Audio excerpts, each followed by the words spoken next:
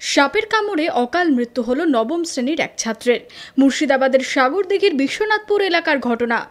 জানা যায়, গত শনিবার সকালে টিউশন না থাকায় পরিবারের সকলের সাথে জমিতে সবজি তুলতে যায়। তখন কিছু কামড় অনুভব করলেও সাপের কামড় বুঝতে পারেনি কেউ। এরপর পরিবারের লোকজন প্রাথমিক চিকিৎসার জন্য স্থানীয় হাসপাতালে নিয়ে যায়। সামনে আসে সাপে কামড়ানোর বিষয়টি।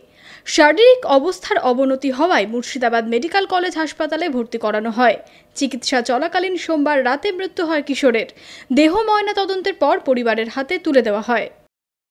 টিউশনি ছিল ওরা। দেওয়ার পর সবজি ভাঙতে গিয়েছিল। সকাল সবজি মানে ভিন্ডি ভাঙতে গিয়েছিল। সবাই মিলে ছিল সঙ্গে।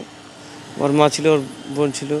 দিয়ে ভেঙে কিসে কামড়েছে তখন বুঝতে পারেনি। ভেঙে এসে বাড়িতে বলছে যে জ্বলছে দিয়ে হঠাৎ তার মাথা ঘুরে যায় দিয়ে ওই অবস্থায় হসপিটাল আনা হয়।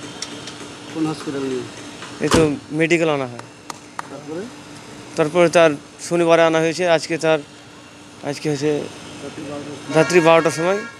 মারা গেছে। ফোন ফোন করে বলল যে আমার ভাতিজাকে সাপে কামড়ালছে আমরা মেডিকেল কলেজে নিয়ে এসেছি।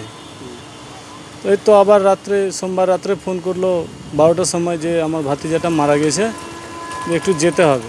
তার জন্য এই তো আমরা হসপিটালে এসেছি। কি করতো ছেলেটা? ছেলেটা পড়াশোনা করতো। সম্ভবত ক্লাস নাইনে মনোবীক্ষণ প্যাথোলজি কোয়ালিটির শেষ কথা।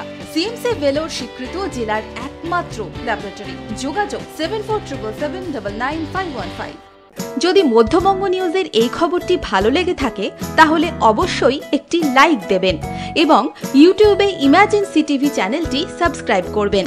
আর যে কোনো খবরের দ্রুত আপডেট পেতে সাবস্ক্রাইব করার পর বেল বাটনে একটি ক্লিক দেবেন।